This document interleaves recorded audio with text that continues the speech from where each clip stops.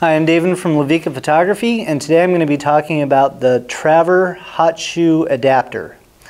And this is a handy little unit for your Sony a6000.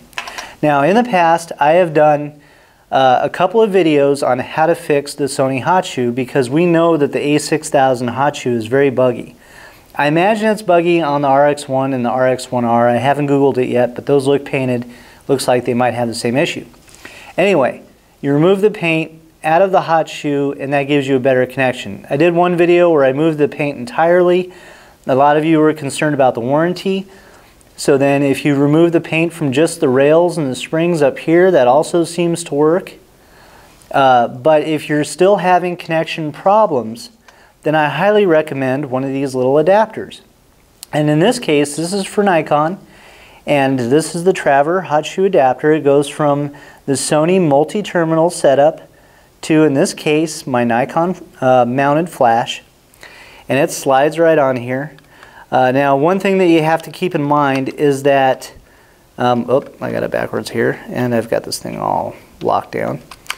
One thing that you have to keep in mind is this is only, it only ensures a better connection. So it does not give you ET, uh, TTL or high-speed sync capability. What it does give you is manual mode and a very good connection.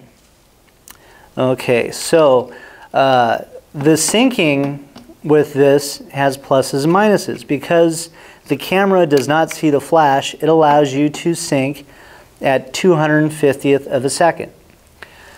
That's the good side of it because you're shooting in manual mode and the camera doesn't see it because Sony for some reason decided that all their cameras should sync at 160th of a second which by the way, Sony is a bunch of crap.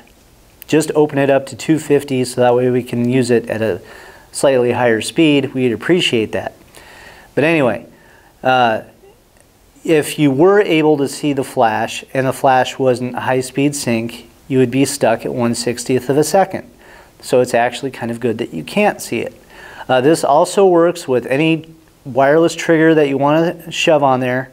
Uh, I know that for sure that these come in um, multi-terminal to Nikon, multi-terminal to Canon, multi-terminal to Sony, older terminal uh, ADI or whatever you want to call it. Uh, so it does come with the PC Sync uh, port and on this particular flash it also has the same sync port uh, this is a very cheap alternative to do a wired flash if your flash has this port. Uh, it allows you to just use a standard sync cable and sync cables have been around for decades and decades so you can find one used just about any legacy camera store or you can hop on online and find them for dirt cheap. The Sony multi-terminal cable is 50 bucks plus the adapter to go to the multi-terminal hot shoe at the other end is another 10 bucks. So you're going to spend 60 bucks for a coiled cable that's extremely heavy. PC sync cables are very light and they're just this, you know, thin wire with little tiny ports that plug in both sides so they don't take up any weight in your bag. And they're also 10 bucks new on eBay. So it's not like you're spending a ton of money uh, to get wired off-camera capability. So that is one option with this. Uh, so I'll leave you guys with that. Uh, I hope you like this video. If you have any questions, just leave me a comment. Otherwise, I'll talk to you guys later. You have a good day.